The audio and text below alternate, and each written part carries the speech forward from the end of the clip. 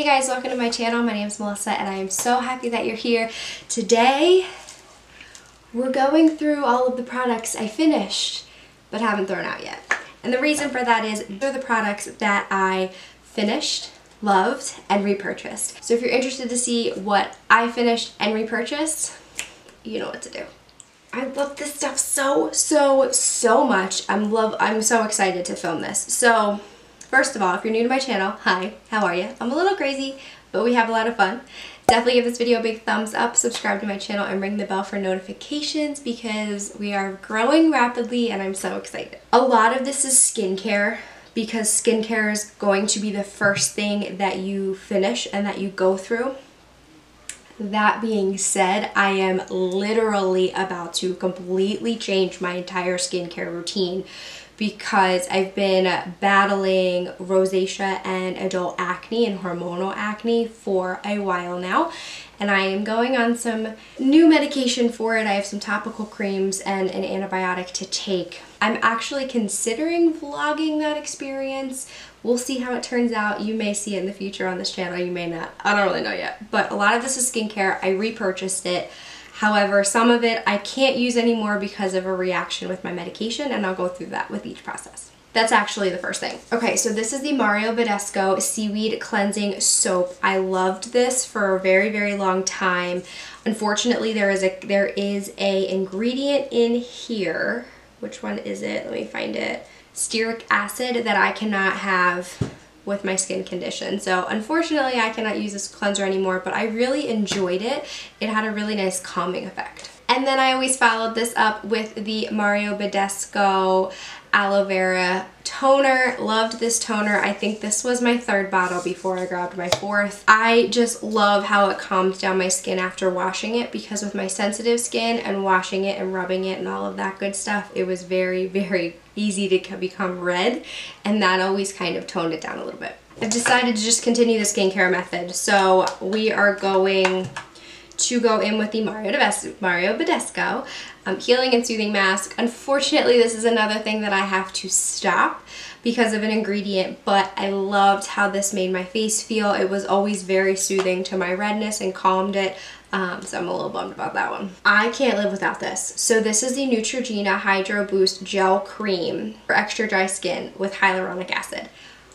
I can't live without it, okay? Like I can't.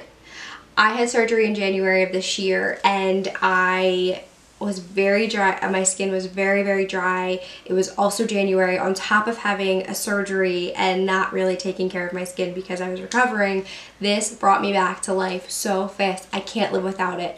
I love water gels. I think that they are perfect moisturizers for me with all of my skin issues. These are phenomenal. And this one in particular I would pay $500 if it costed but luckily it's always around between 15 and 20 bucks for you depending on where you buy it.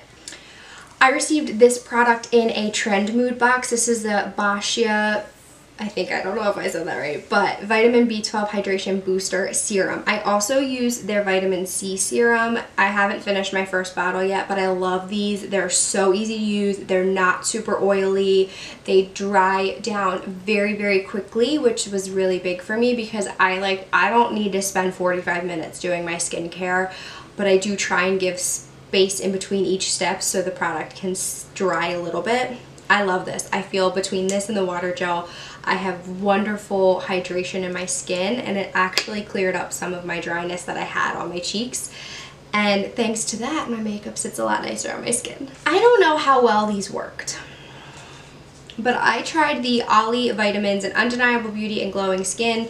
I needed the keratin and biotin for my hair growth, which is why I did the um, hair, skin, and nails. And the other one had hyaluronic acid and collagen in it, which I knew was uh, really good for your skin.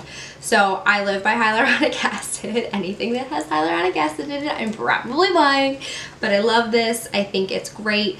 I definitely notice a really big boost in my hydration with this product. I started it after all of that, so I knew it was from this. And then this, I definitely see a difference in my hair. Which is amazing because I really need it. Okay, so I think the last piece of like skincare is this. This is the Morphe Eye Makeup Remover. This is my first bottle. I'm pretty much done. I have an ed backup upstairs. I'm kind of that crazy person that if I love a product, as soon as I open my new one, I order one so I have a backup. Like I'm that person.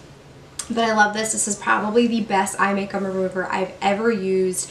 It uh, is not very oily. I wear contacts, so like I was so used to putting the eye makeup remover on the cotton cotton round and like I let it sit on my eye, obviously with my eye closed, for a couple minutes and then wipe away the product.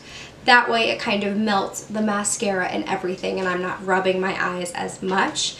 However, when you have contacts on and you get a little bit of something in your eye, even if it's the tiniest bit and it's not painful, it's annoying. And this doesn't do that to my contacts. So I'm really, really, I love this. I, I love this. I use this in the Garnier Micellar Water and the Aveeno makeup removing wipes. I use three different things to take my makeup off every day. I'm fun to travel with. so I have two things that are not makeup or hair related. So this is the Glory Cloud Birthday Cake Whipped Soap. Oh my goodness. Their sugar scrubs would be in here if I was done, but I'm still working on my first one. And their body butters are amazing. So Glory Cloud is a brand of, I want to say skincare, that I found on Instagram and I immediately fell in love with. I have the birthday cake one, the Fruity Pebble scrub is amazing. It's the best scrub that I've ever used and I used to make scrubs. The body butter is just mm, It's so good. and I just got the cinnamon roll one flavor. I just got the cinnamon roll scent as well. So I love all of that. Since we've been in quarantine, I can't, not that I was really one to get my nails done, but I like having the option. And these bad boys are amazing. These are the Kiss nails. They're glue on. I have a set on right now. They last me about a week, which is fine. That's all I need personally because then I get bored. And then when they come off, or they pop off, like this set's probably going to pop off tomorrow um, or at least one of them is. And then when one of them does, I have to take them all off. But they're not damaging to my nails, which is very, very important. I have two hair products. I have a Laneige Rival Heat Shield. I've used this for a very long time. I don't put heat to my hair very often because I have thin hair and my hair tends to fall out pretty easy. But when I do, I always use this heat shield. I love it so, so, so much when I am curling my hair because that's usually the one time I'll put heat to it. I don't even blow dry it. This is this this is air dried today. Showered today. I showered for you. I love this dry shampoo. Uh, it is the Living Proof Perfect Hair Day Dry Shampoo. I have it on auto delivery. It comes every single month. I it is the only way I've been able to get my hair to, hair washing days as far apart as they are. I go about three days in between washing my hair and I never was able to do that before and I feel like this spray it in your roots at night before you right before you go to bed rub it in brush your hair and it is unbelievable. I am now successfully able to go like three or four days without washing my hair which has helped my hair the health of my hair so much. And I have a couple makeup products. I want to mention one thing that I haven't ran out of yet, but I it, it's I'm going to actually hit pan on my first product I think relatively soon and I wanted to mention it. But it's harder to run out of makeup products than it is skincare because especially for me, I have three or four different foundations that I use on a regular basis. I have a couple concealers I use on a regular basis. So it's harder for me to get through those products because I don't use them as frequently as I would my skincare. I have two mascaras that I love. This is the Too Faced Better Than Sex mascara and the L'Oreal Lash Paradise mascara. Please make sure you're changing out your mascaras every three months. It's really important, especially if you are one to like pump the wand in order to get more product on it. You're getting air in your mascara. First of all, try not to do that. I like swirl.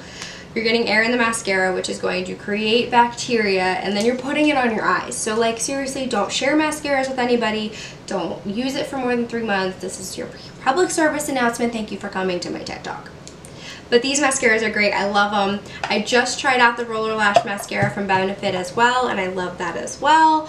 So I've been really successful in finding mascaras, but I already have another one of these L'Oreal mascaras in my cart at Ulta for whenever I'm ready to place my next order. Alright, so last two products, and they're both the same brand. So the Too Faced Born This Way Foundation and Multi-Use Sculpting Concealer. They are both in the shade Snow, which is the shade Pale. I think it's I think it is the lightest shade, if not one only one step up.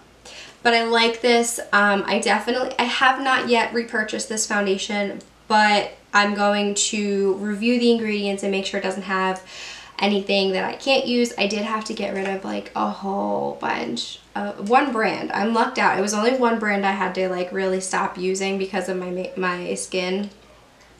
And unfortunately, it was Makeup Revolution. I love their stuff and if you have their stuff please if you don't have any skin issues you're fine but if you do consult with a doctor to make sure what ingredients you should stay away from but I had to get rid of it all I'm sad but this I believe this one's okay. I haven't really researched it. I know the concealer's fine, so I assume that the foundation is too. I used this the entire two weeks I was in Japan last year, and it was just wonderful. It's nice and luminous and dewy without looking like sweaty and oily and gross great. But that is my whole basket of empty products that I repurchase. I think I might do this twice a year. I think it is a really fun video for me and I enjoyed it. So now I get to throw all of the, or recycle all of the cartridges, which is great because they've been sitting over here for a very long time. I hope you enjoyed this video. I will be back on Tuesday with a try on of some super fun products you don't want to miss it. Tuesday, 1 p.m. Eastern Time. If you haven't done so yet, definitely subscribe to my channel, ring the bell for notifications so you never miss an upload. And I will see you on Tuesday.